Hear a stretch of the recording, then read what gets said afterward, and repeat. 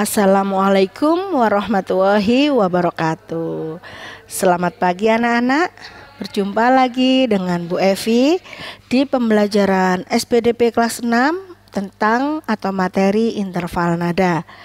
Bagaimana kabar anak-anak pada pagi hari ini? Insya Allah anak-anak tetap dalam keadaan sehat walafiat, tetap semangat belajar dari rumah dan tetap ceria bersama keluarga. Baik anak-anakku sekalian, sebelum kita masuk ke pembelajaran seperti biasanya, mari kita kirimkan barokah Fatihah kepada Nabi Muhammad SAW, Syekh Abdul Qadir Jalani, Syekh Hasim Ashari, para pendiri Yayasan YLPIK, guru-guru kita, orang tua kita, dan semua murid MI Islamnya. Ilah hadratin Nabil Mustafa Rasulullah Sallallahu Alaihi Wasallam wa ala alihi wa ashabihi wa duriyatihi wa ahlil baitil kiram ilah hadratin Syekh Abdul Qadir Jailani ilah hadratin Syekh Hasim Ashari ilah muasis taklimiyah Kebonsari wa asatidina wa talamidina wa walidina al-fatihah A'udzu billahi minasyaitonir rajim. Bismillahirrahmanirrahim. Alhamdulillahi rabbil alamin. Ar-Rahmanir-Rahim Maliki yaumiddin Iyyaka na'budu wa iyyaka nasta'in Ihdinas siratal mustaqim. Siratal ladhina an'amta alaihim Ghairil maghdubi alaihim. Ghairil maghdubi alaihim Walabdallin Rabbi firli wali walidayya walil mu'minina amin. Sekarang kita lanjut doa sebelum belajar Bismillahirrahmanirrahim. Raditu billahi rabba wa bil islami dina wa bi muhammadin nabiyya wa rasula. Rabbi zidni ilma warzuqni fahma waj'alani minas solihin Baik, kita lanjut dengan sholawat nariyah. Allahumma sholli sholatan kamilatan wa salim salaman taman ala sayyidina Muhammadin illadhi tanhalu bihil uqadu wa tanfariju bihil qurabu wa tuqada bihil hawaiju wa tuhnalu bihil raghaibu wa husnul hawatimi wa yustasqal ghamamu biwajihil karim wa ala alihi wa sahbihi fi kulli lamhati wa nafasin wa nafasin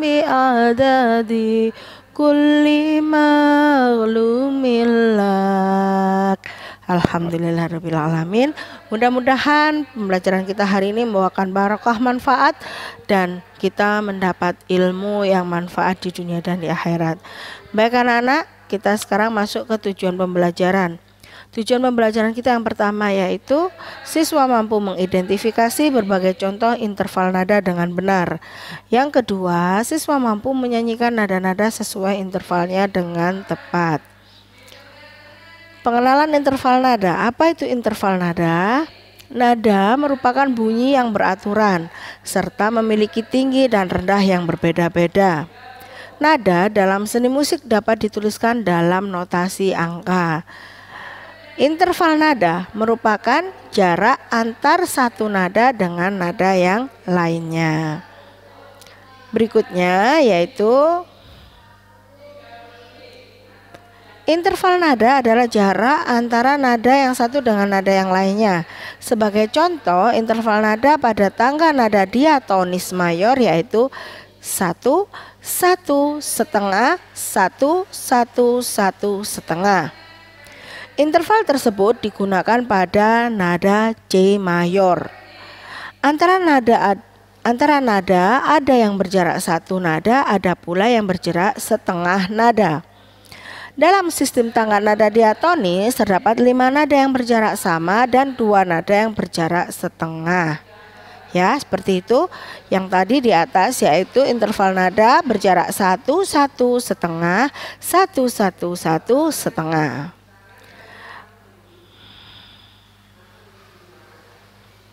Nada dasar dalam tangga nada diatonis mayor yang natural adalah nada C. Maksudnya C adalah kita mulai dari nada C sama dengan C sama dengan satu atau do. Interval nada sekarang. Ini ya. C D E F G A B C aksen atau C petik. Do re mi fa sol la si do.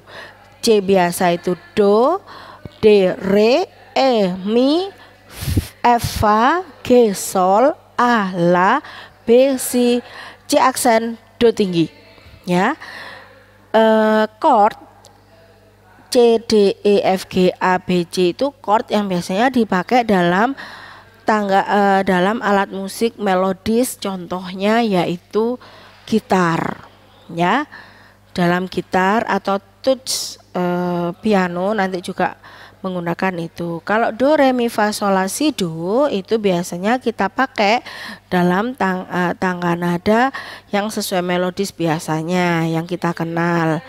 Nah, ini 1 2 3 4 5 6 7 dan do titik itu adalah yang disebut not angka. Do sama dengan 1, Re sama dengan 2, Mi sama dengan 3, Fa sama dengan 4, Sol sama dengan 5, La sama dengan 6, Si sama dengan 7, dan Do tinggi sama dengan 1 titik. Do, do ke Re berjarak 1. Re ke Mi berjarak 1. Mi ke Fa berjarak setengah. Fa ke Sol berjarak 1. Sol ke La berjarak 1 La ke si berjarak satu, sedangkan si ke do tinggi berjarak setengah. Nah, di sini yang tadi Bu Evi cerita bahwa interval nada yang ada pada C mayor yaitu satu satu setengah satu satu satu setengah. Ya, ini artinya C mayor berarti do do yang pertama itu berada pada C. Ya, baik sekarang do ke re. Berapa jaraknya atau intervalnya? Yuk. Iya, satu, betul.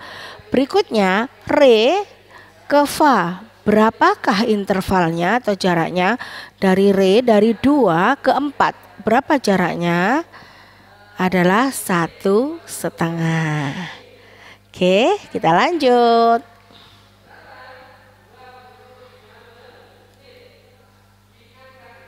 Nah, itu not balok yang seperti ini namanya itu not balok ya. Not balok itu bulat-bulat-bulat itu dikatakan not balok. Ada garisnya.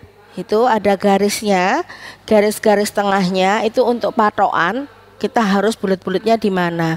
Itu namanya garis para nada, ya.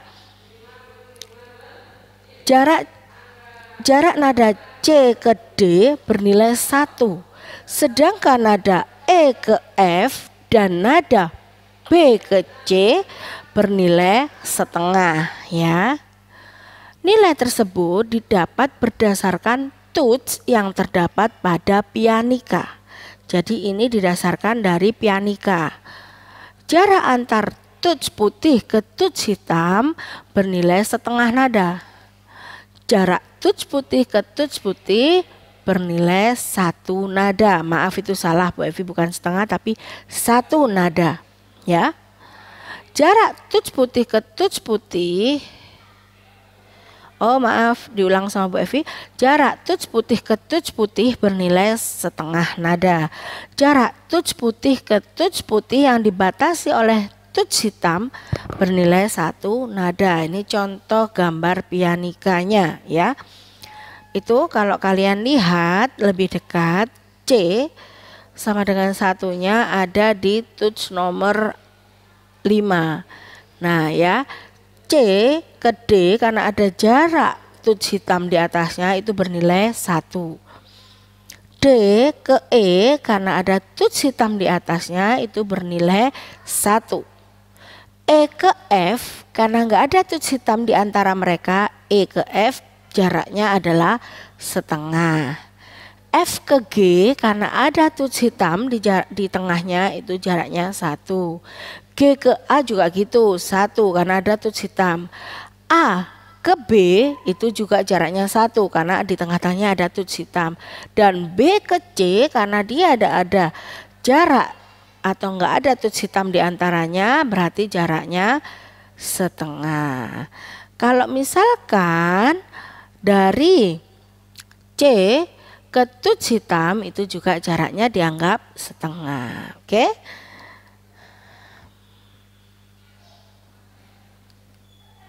Cara mengubah interval nada pada tangga nada mayor lainnya. Ingatkah kamu pada interval nada C mayor? Interval nada C mayor menjadi acuan untuk menentukan interval nada berikutnya. Misalkan interval nada D mayor. Susunan nada D mayor yaitu D, E, F, G, A, B, C, D. Jadi mundur ya.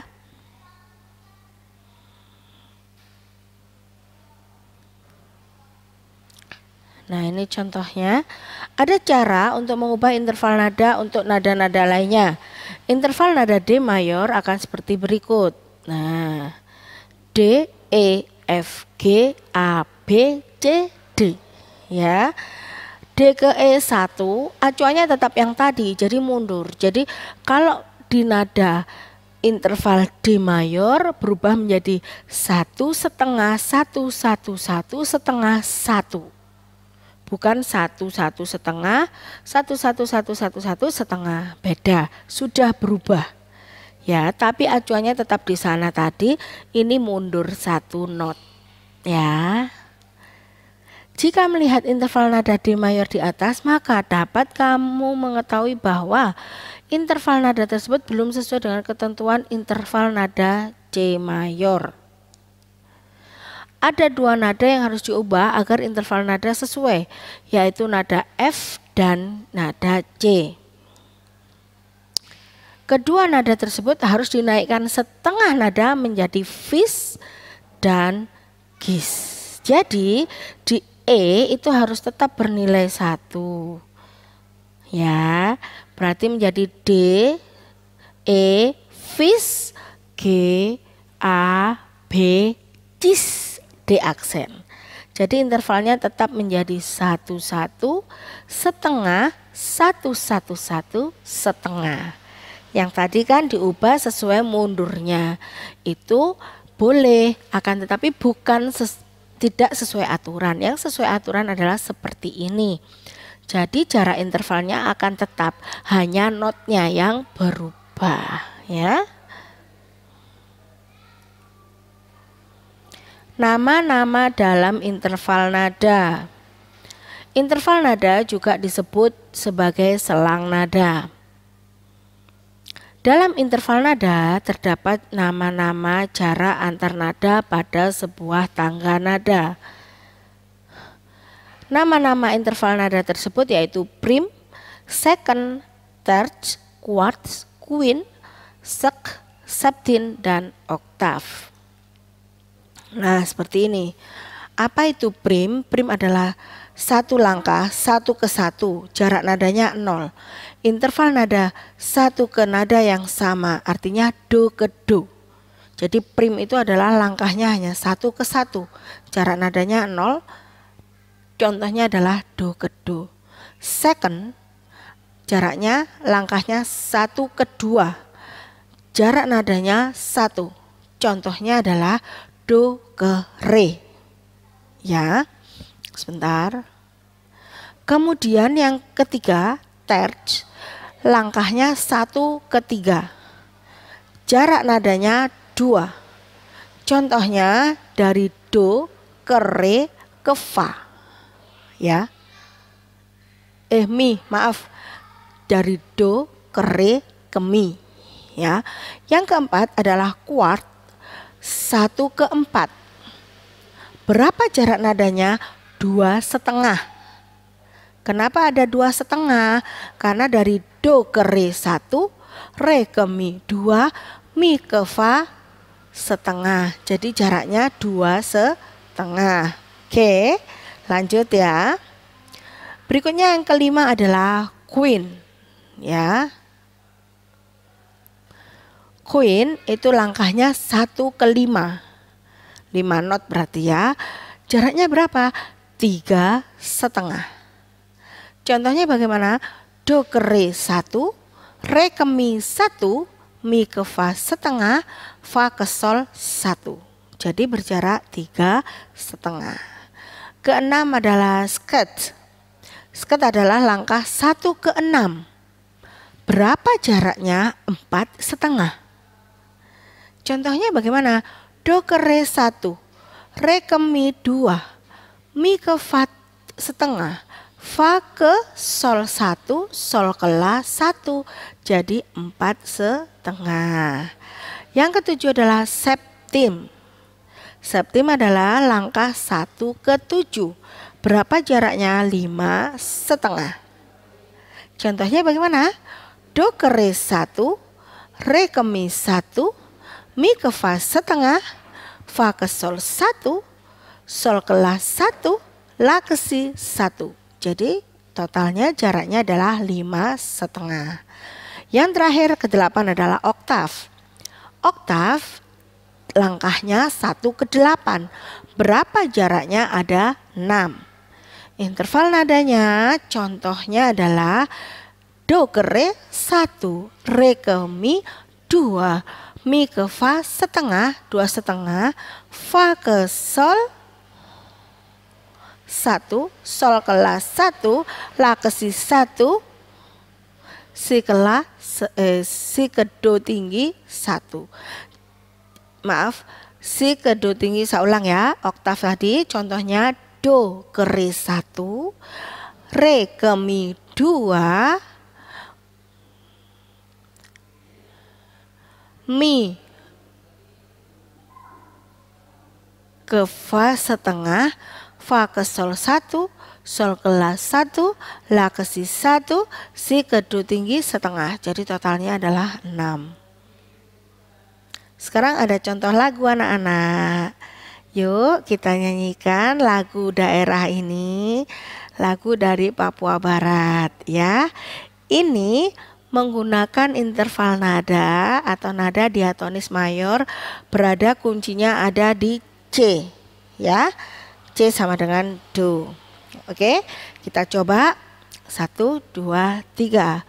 Apu se kokondao yarabe sorendoreri woflenso baninema baki pase Apu se kokondao yarabe sorendoreri bani nema baki pase. Arafabe aswara kwar arafabe aswara kwar oke. Terima kasih sudah menyanyi bersama Bu Evi. Baik sekarang kita tiba di penghujung pembelajaran yaitu kesimpulan. Yang pertama, interval nada adalah jarak antara nada yang satu dengan nada yang lainnya. Yang kedua, interval nada pada tangan nada diatonis mayor yaitu satu satu setengah satu satu satu setengah. Nada dasar dalam tangan nada diatonis mayor yang natural adalah nada C. Jarak nada C ke D bernilai 1, sedangkan nada E, F, dan nada B, C bernilai setengah. Nilai tersebut didapat berdasarkan tuts yang terdapat pada pianika. Nama-nama interval, nada tersebut yaitu prim, sekon, third, quart, queen, sek, septim, dan oktav. Baik anak-anak, pembelajaran kita pada pagi hari sudah berakhir. Alhamdulillah kita sudah uh, menyelesaikan pembelajaran pada pagi hari ini. Sebelum Bu Evi tutup pembelajaran pada pagi hari ini, mari kita berdoa di akhir pembelajaran yaitu kita membaca surat Al-Asr secara bersama-sama. Bismillahirrahmanirrahim. Wal asr. Innal insana lafi khusr illalladzina amanu wa amilus solihati wa tawasau bil haqqi wa tawasau bis sabr Terakhir kita tutup dengan doa kafaratul majelis. Bismillahirrahmanirrahim. Subhanakallahumma wa bihamdika ashadu an la ilaha illa anta astaghfiruka wa atubu ilaik. Baik. Sebelumnya Bu Evi tetap berpesan kepada kalian utamakan disiplin waktu selama belajar di rumah Belajar sungguh-sungguh supaya mencapai hasil yang maksimal dan yang terakhir jaga kesehatan serta rutin berolahraga karena kita tetap harus selalu menghindari virus berbahaya yang akan menempel di tubuh kita. Bafi akhiri, wassalamualaikum warahmatullahi wabarakatuh. Berjumpa. Selam, selamat belajar di rumah. Semoga selalu bahagia. Sampai jumpa.